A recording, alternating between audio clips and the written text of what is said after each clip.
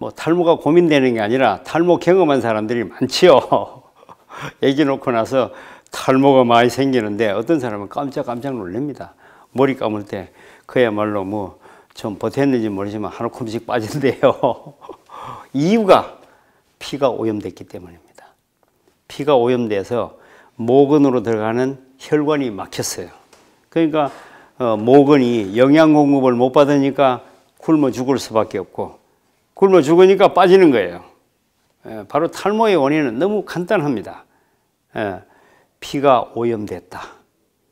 피가 오염되는 원인은 예, 칼슘 부족으로 인해서 피가 산성피가 되고 산성피가 되면 다시 혈전이 발생되고 혈전이 발생돼서 적혈과 여러 분자 엉겨 붙으면 예, 모세혈관을 막지요.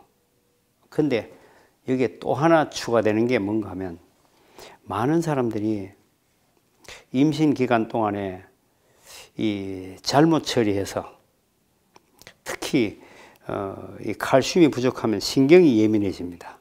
신경이 예민하고 우울증까지 있는 데다가 너무 이걸 이해를 못하는 가족들이 이게 스트레스를 이 사람은 조금만 줘도 크게 받는 상황이거든요.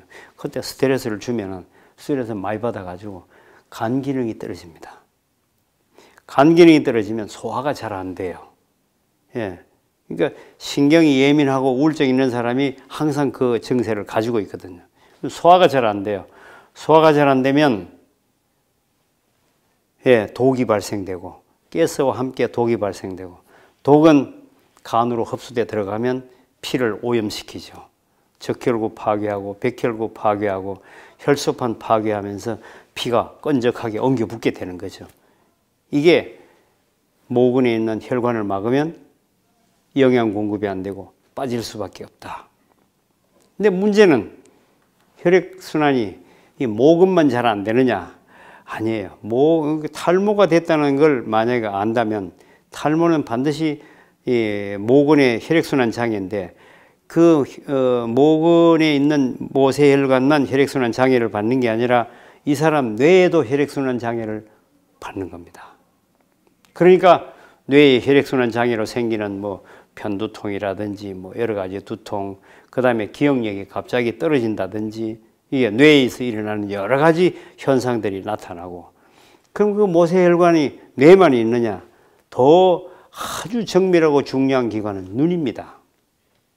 눈은 전부 모세혈관으로 이루어졌는데 이게 모근의 모세혈관이 혈액순환이 잘 안 된다면 눈에도 모세혈관이 혈액순환이 안 되는 거예요. 그래서 임신 출산 후에 안경을 끼는 사람이 많아요. 이게 혈액순환 장애였단 말이죠. 음. 이 문제는 어, 그 혈액순환 장애는 눈만 오는 게 아니에요. 폐혈관도 모세혈관으로 폐과리에 있는 전부 다 모세혈관으로 이루어졌는데 폐과리에 있는 모세혈관이 혈액순환이 잘 안 되면 우리 숨 쉬어도 산소가 잘 안 들어가고 탄산가스가 배출이 잘 안 되는 거예요. 그러면 피는 오염돼요. 그러면 피가 오염되면 이거 오염되는 걸 풀기 위해서 호흡이 가빠지고, 어, 가빠지고, 그리고 여러 가지 이제 부정도 생기고 여러 가지 문제가 동시다발적으로 만들어집니다. 어떤 사람은 이게 근육통까지도 만들어져요. 그렇지 않아도 그 전에 어, 피가 잘 안 만들어져 가지고 골수가 안 좋으면 피가 잘 안 만들어지거든요.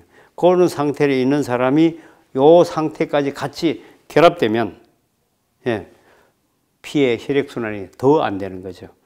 이 문제가 온몸에 전체적으로 일어나서 혈액순환 장애가 일어나 가지고 어떤 사람은 밤에 자다가 다리에 쥐가 생기는데 쥐라는 게 바로 혈액순환 장애였어요. 음, 이것이 어, 그전에는 괜찮았는데 애기 놓고 난 뒤에 갑자기 생겼습니다. 이 문제가 바로 예, 임신했을 때 처리가 잘못됐다. 예, 결국은 칼슘 부족에 신경이 예민하고 스트레스 받고 독이 생겨서 이게 혈액순환 장애를 만들고 피는 더 잘 못 만들고 하는 문제가 겹치게 되는 거죠. 예.